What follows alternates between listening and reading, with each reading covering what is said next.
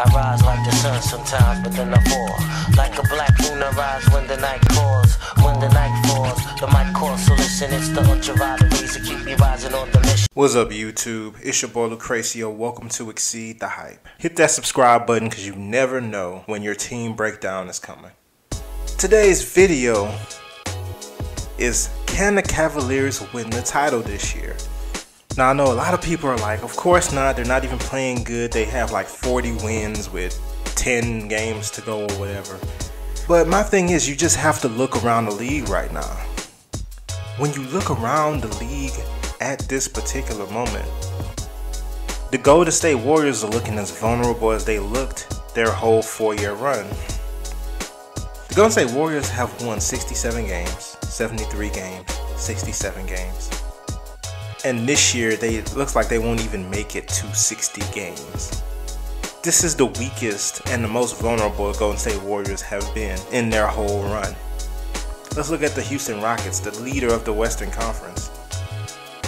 A lot of people have questions about their two biggest stars, James Harden in the playoffs and Chris Paul in the playoffs.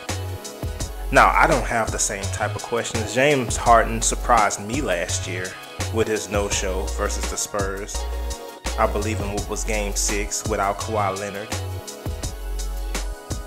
at home.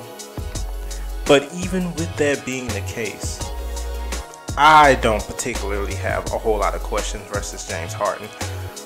But my thing is, they haven't seen anything like playoff LeBron in a series as of yet.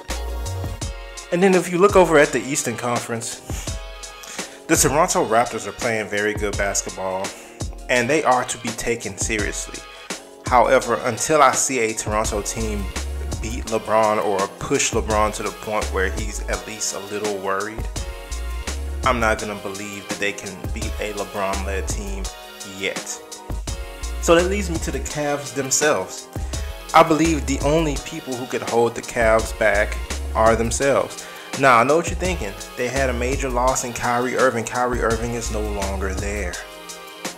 How on earth could they possibly win without Kyrie Irving? Well, let's talk about it.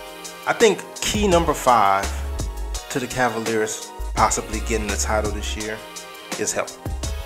They have struggled with injuries all season, as they do every season, as all older teams tend to struggle with injuries or whatever the case may be. But one key for the Cavaliers will be can their guys get healthy at the right time? Can Rodney Hood get healthy? Can Larry Nance, who wasn't really hurt but may have, you know, had some progressive fatigue situations, can he be ready to go?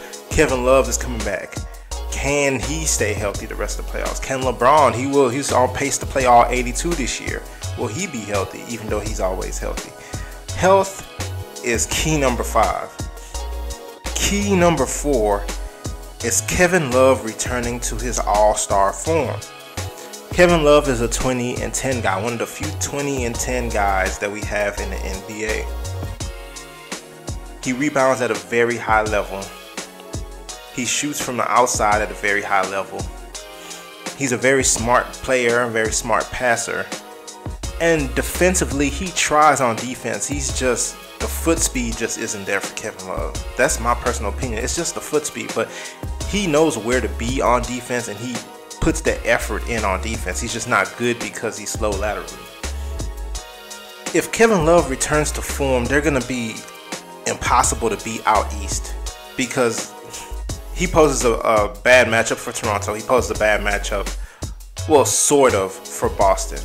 But if he's playing at a high level, he's better than Al Horford, in my opinion. So Kevin Love returning to, to form is reason four, or key number four.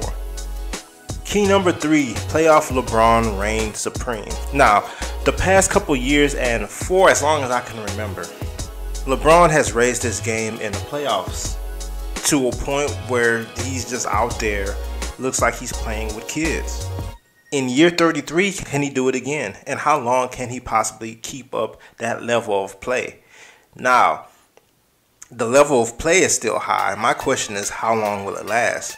So when he when they roll into Washington or whoever the first round matchup is, yeah, he's going to be playing on 10 if he has to. And then when they roll into Toronto or whoever the second round matchup is, you know, he's still going to keep it. He's going to either ratchet it up or keep it, you know, on a 10. And then when they get to the final matchup in the Eastern Conference, if he's not already at a 10, he's going to ratchet it up to a 10 and have to sustain it to knock the team out. Can you go four series operating at a 10? Is the question for LeBron. Especially if that last series is a, is a long series. Can LeBron be playoff LeBron again and have it last the whole playoff without, you know, burning out or fatigue like we saw in 2015? Number two, the emergence of a third scorer. Now, I don't know who this guy will be for the Cavaliers. I'm leaning towards Rodney Hood. I'm hoping it's Rodney Hood. I think Rodney Hood has the goods. Nobody's going to ever be able to convince me otherwise except for his play. I think Rodney Hood has it in him to be an all star in this league. He's really big and he can shoot. He can put the ball on the floor. He can attack. He can pass. He can do everything. His consistency is going to be the key. And honestly, a lot of people won't admit it, but I thought he played very well in that first round series that he played in Utah versus the Golden State Warriors. I thought he played very well. If he's not the guy, who is? Is it going to be Larry Nance? It's not going to be George Hill. We've seen a lot of George Hill over the years. It is not going to be George Hill. The Cavs don't have a young guy who could potentially step up. John Holland or you know any of those guys. I don't. I don't believe any of those guys have it in them to step up. Who is the third guy going to be? It's not going to be Tristan Thompson. It's not going to be J.R. Smith.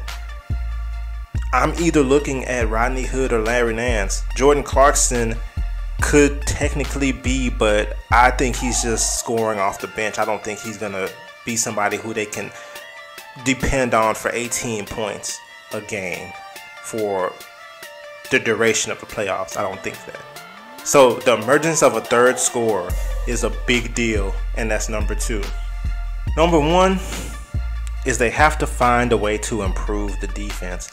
Last year, we saw them dependent on the three pointer. Their defense was horrendous all year long. All they tried to do was outscore their opponent all year long. Even though last year, though, I do have to admit their defense did uh, ratchet up in the actual playoffs. This year, they have to do that again. Their defense has been terrible. They have no interior shot blocker, even though Larry Nance has come and helped a little bit in that role. But they really don't have an interior shot blocker. And then their perimeter defense is also bad. It's a whole lot of lost assignments. It's a whole lot of looking around. It's a whole lot of people getting lost on screens. It's a whole lot of horrible defensive principles that we see from the Cavaliers. Even though Tyronn Lue the head coach was supposed to be a defensive genius. People forget that these days. But when he was being chosen for the position, he was being billed as a defensive guru, a defensive genius. They have to find a way to ratchet that defense up in the playoffs when it matters. Not even just when it matters, just generally. They need to ratchet that, te- that defense up the whole playoff series. So, those are my five keys. Leave your comments below. Let me know what you guys think. Can the Cavs win the title this year? And if so, what do they have to do to prepare themselves to raise themselves to a championship level? Leave it all below. All right, see you next time.